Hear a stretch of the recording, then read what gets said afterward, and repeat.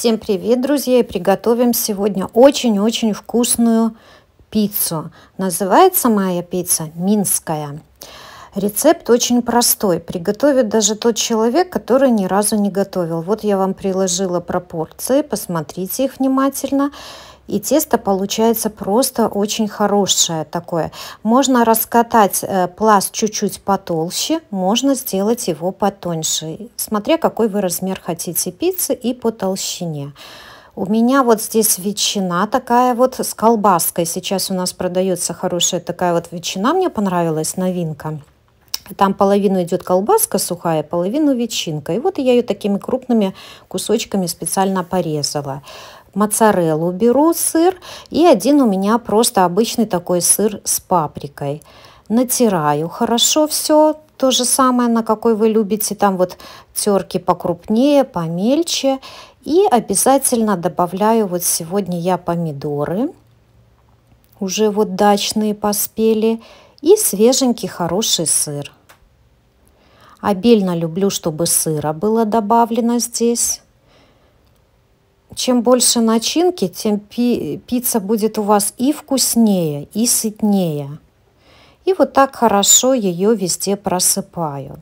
Можно, когда вот вы раскатали тесто, добавить, смазать хорошенечко томатным либо пастой, либо немножко томатного соуса, либо кетчупа. Это те люди, которые любят, чтобы она была немножечко так поострее я добавляю и помидор, и обычно вот томатную пасту немножко. Она будет очень-очень тогда вкусная. Что касается по зелени. Очень хорошо вот здесь вот этот вкус такой получается, когда вы добавляете зеленый лук. Если есть, можете посыпать сверху еще такими вот сухими, допустим, приправами, такие вот как прованские травы. Если есть у вас опять же в наличии.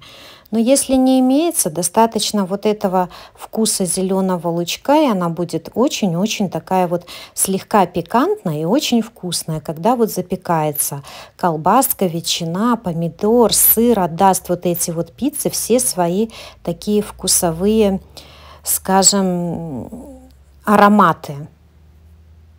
Вот такая она у меня получилась. Я ее сделала именно такой средней и не тонкую, и не сильно толстую. И сейчас вот еще разочек вам покажу, ставлю ее выпекать. На умеренном огне я пекла 180-185 градусов, духовка у меня газовая.